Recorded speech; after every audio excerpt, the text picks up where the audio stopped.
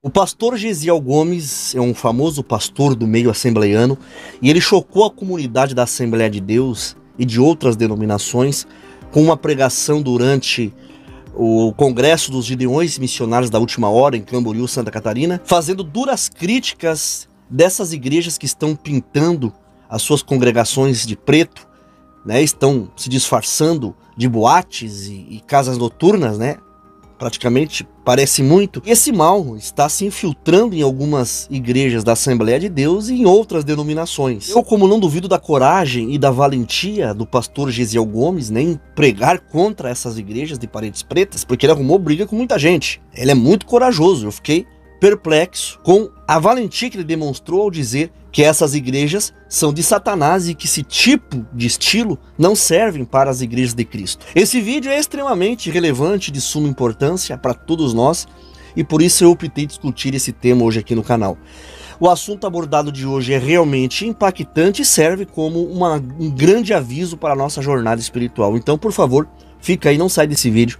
Eu volto logo após a vinheta.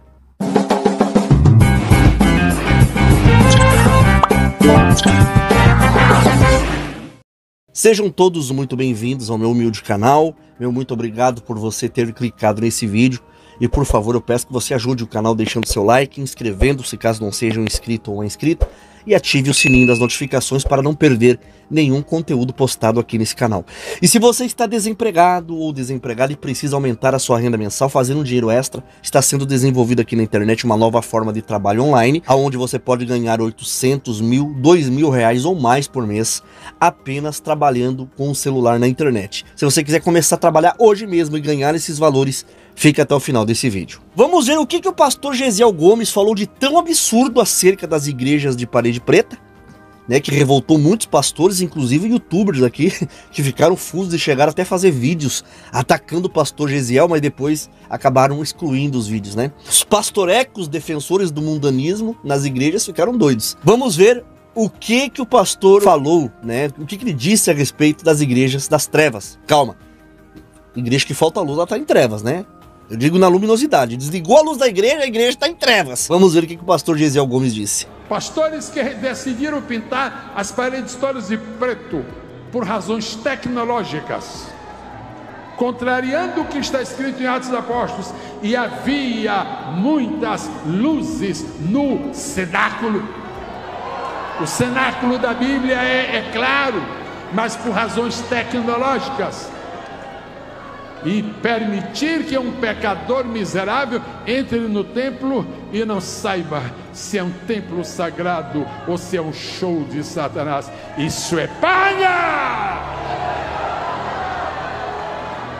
E como está uma representação tremenda, imensa da igreja brasileira, corajosamente, essa coragem eu só tenho que receber de Deus, porque é meio, é meio pesado, mas eu estou falando pregadores itinerantes, se vocês querem ver avivamento, não se faz avivamento com palha, se faz avivamento com trigo. Teus gritos, teus trejeitos, tuas palavras, teus chavões, isso não leva a coisa nenhuma. Trigo, trigo, trigo.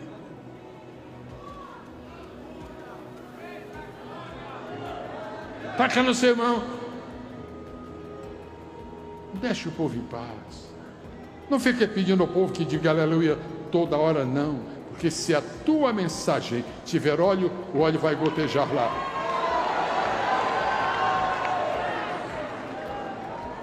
Deus vai por essas coisas em ordem, porque estamos eh, entrando no avamento final da história da igreja.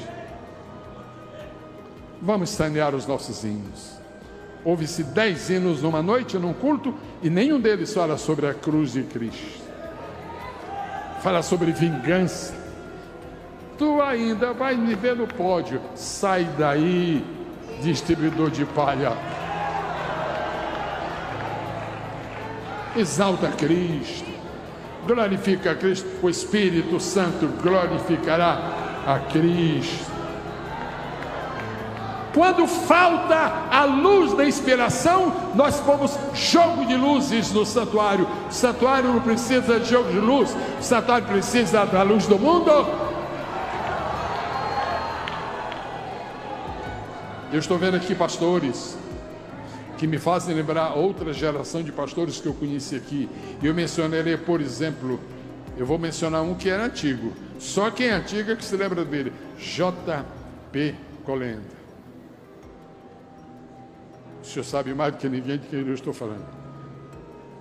J.P. Colenda só sabia alimentar o povo com trigo. Eu conheci João Hugo. Ele alimentava o povo com trigo. Por favor. Jesus não disse, dai entretenimento ao povo. Jesus disse, dai de comer ao povo. Jesus não disse, trago música contemporânea para o povo. Jesus diz: tragam comida. E o senhor precisa de pão, e o senhor precisa comer. Agora, igreja do Senhor, aprende decididamente a apoiar os pregadores que têm trigo na sua aljava. Igreja, não vires as costas e não sustentes os teus pregadores com aplauso. Aplauso não sustenta o pregador, o que sustenta pregador é oração, intercessão, clamor e lágrimas. Vamos estar de pé no nome precioso de Jesus.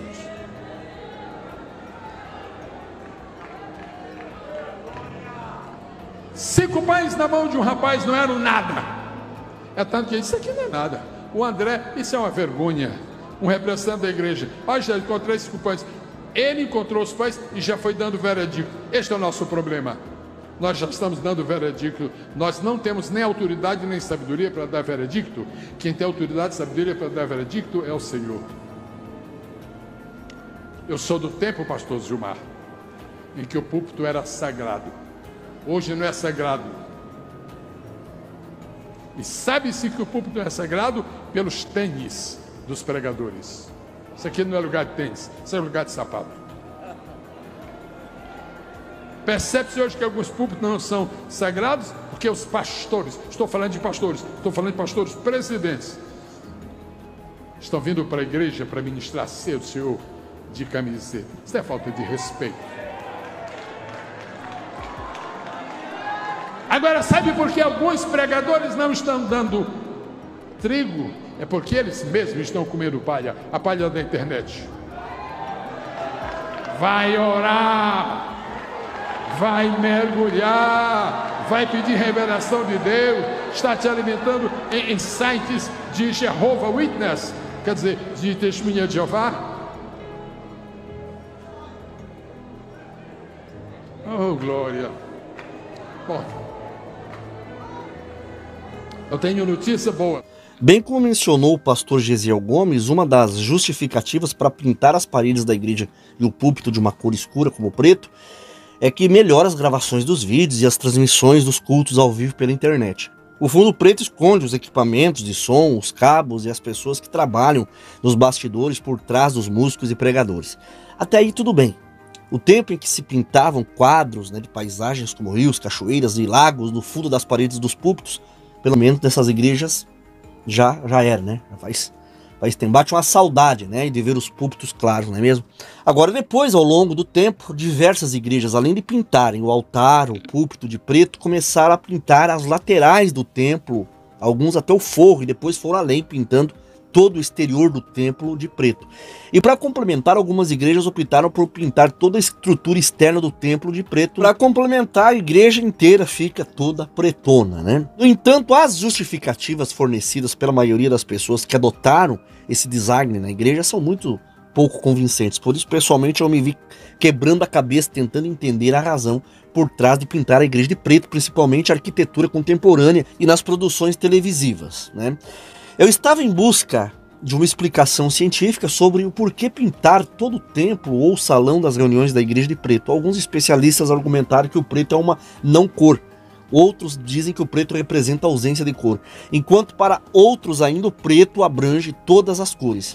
Depois que eu assisti o vídeo do André Valadão no programa de noite, né, do Danilo Gentili, ele falou com orgulho sobre as alterações feitas no púlpito da igreja da Lagoinha, dizendo que o pai dele foi viajar e quando voltou viu o púlpito todo quebrado e as paredes toda pintada de preto e disse que o pai dele amou. Diante disso, decidi pesquisar mais sobre as igrejas contemporâneas, né?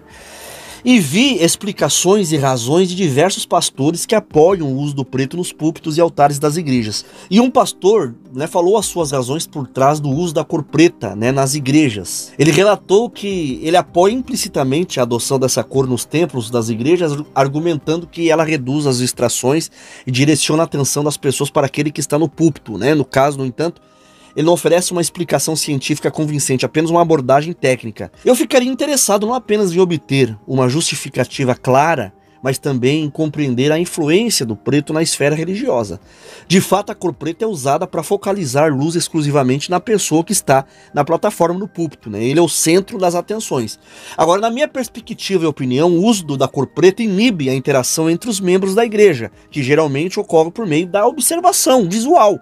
Você chega na igreja, você vê um irmão, uma irmã do teu lado, você vai, saúda ele, cumprimenta ele, né? E com a predominância do preto e a ausência de luz no, no ambiente, os irmãos e irmãs não conseguem enxergar uns aos outros. Aí saem da igreja, retornam para suas casas e ninguém vê a cara de ninguém. Para mim, essas igrejas estão mais próximas de casas noturnas e bares e boates. Os que advogam e defendem o uso da, do preto como cenário no palco da igreja, e muitos conhecidos meus defendem argumentam que o preto na igreja é melhor para gravar vídeo, que realça as pessoas nas filmagens nas igrejas e que oculta a desordem de caixas de som, no fio dos instrumentos. Para mim, essa justificativa ela é contestada quando se observa que nos principais estúdios de televisão, nas redes de emissoras do país, você vê programas de notícias que não se emprega o preto e tem uma variedade de cores bem colorida, cores atraentes, e você não vê nenhum fio, nada em desordem.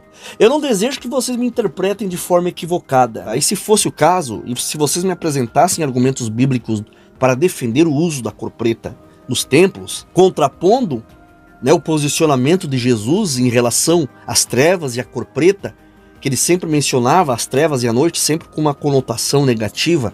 Até mesmo o apóstolo Paulo abordou o tema né, da noite como algo adverso pois as trevas evocam coisas ocultas, né? Assim, quando Lucas registra que na reunião dos irmãos havia muitas lâmpadas acesas no cenáculo, em Atos, onde estavam reunidos, ele está informando a Teófilo, a quem endereça o livro, que esses irmãos não estavam clandestinamente. Eles não estavam violando uma lei romana que proibia as reuniões em locais secretos, mas sim que eles estavam visíveis para a guarda romana da cidade vê-los.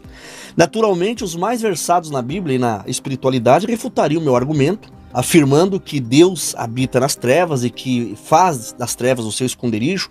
Também tem citações do sábio Salomão, que afirmou né, que o Senhor disse que habitaria em trevas espessas, 1 Reis 8,12. De fato, Deus ele habita entre as trevas porque ele é luz nas trevas. O Salomão se referia ao fato de que a nuvem que cobria o Monte Sinai e a arca da aliança com os querubins era escura, negra, e ocultava a presença de Deus para que os mortais não perecessem. A questão que eu coloco aqui é: hoje a tonalidade preta oculta o que? Estará ocultando a presença de Deus para que o homem seja visto, é difícil para qualquer cristão antigo, habituado à luz, compreender que a cor preta nos templos e salas de reunião signifique modernidade.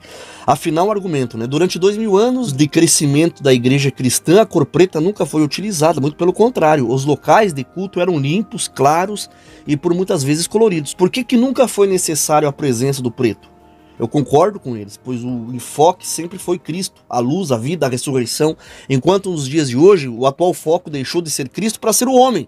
E o evangelho light, inofensivo, que não incomoda ninguém, que não confronta ninguém, é pregado nessas igrejas de paredes pretas. Eu ficaria muito contente se nesses templos sombrios e sem luz, sem luminosidade, os pastores pregassem contra o pecado, falassem da necessidade do arrependimento, da necessidade da purificação e santificação pelo sangue de Cristo, mas não é isso que acontece. Se esses pastores encorajassem as pessoas a mudar de vida, para serem libertos dos demônios e batizados no Espírito Santo, e se diante de uma manifestação demoníaca pusesse as mãos e expulsassem o espírito maligno, é algo raro hoje em dia. E se parasse de pregar sobre autoajuda e incitasse os ouvintes a, a uma transformação radical de vida, Eu repito, se tudo isso ocorresse em um ambiente sombrio e melancólico, eu reconsideraria tudo que eu falei nesse vídeo. Mas de forma geral, ao mudar a cor do tempo, muda-se também a cor do evangelho. É isso que está acontecendo. Bom, se esse vídeo te edificou, eu peço que você compartilhe esse vídeo com familiares, amigos e pessoas das suas redes sociais. Compartilhe esse vídeo com contatos e grupos aí do seu celular. Deixe o seu like, que é muito importante. Inscreva-se no canal e ative o sininho das notificações. E se você quiser uma renda extra, começar hoje mesmo a trabalhar na internet somente usando o teu celular e ganhar valores entre 500, 800, 2 mil reais ou mais por mês, o Tom Dimas Torres, que é um parceiro aqui do canal, está disponibilizando o mini curso gratuito que vai te ensinar a ganhar esses valores trabalhando em casa usando somente um celular na internet. Fique agora com o recado do Tom Dimas, te dando as dicas de como adquirir e receber gratuitamente esse mini curso, né? Para você começar a trabalhar hoje mesmo. Fique com o recado dele e Deus abençoe sua vida em nome do Senhor Jesus. Faz aproximadamente um ano que eu venho falando aqui no canal da possibilidade de você fazer um dinheiro extra trabalhando em casa usando apenas um celular. Olha só quanto essa pessoa faturou usando as dicas do Tom Dimas. Ó, ela fez aqui R$ 1.400, né? Ela foi no mercado fazer uma compra. Nesse caso aqui, ó, o André fez R$ mil reais. Ó, o Gustavo fez um dinheiro e sacou e mandou o print aqui para mim. A Ingrid também. Ah, essa aqui também fez uma compra. E é o seguinte, né, eu sou o Tom Dimas, muito prazer, é uma honra ter você aqui no meu escritório. Prazer é meu. Se você hoje quer fazer uma renda extra para poder complementar a renda do seu lar, é simples. Clica no primeiro link do comentário fixado desse vídeo e me chama no meu WhatsApp que eu vou te ajudar. É simples, é só isso. É isso aí, clica lá que o Tom Dimas vai te ajudar.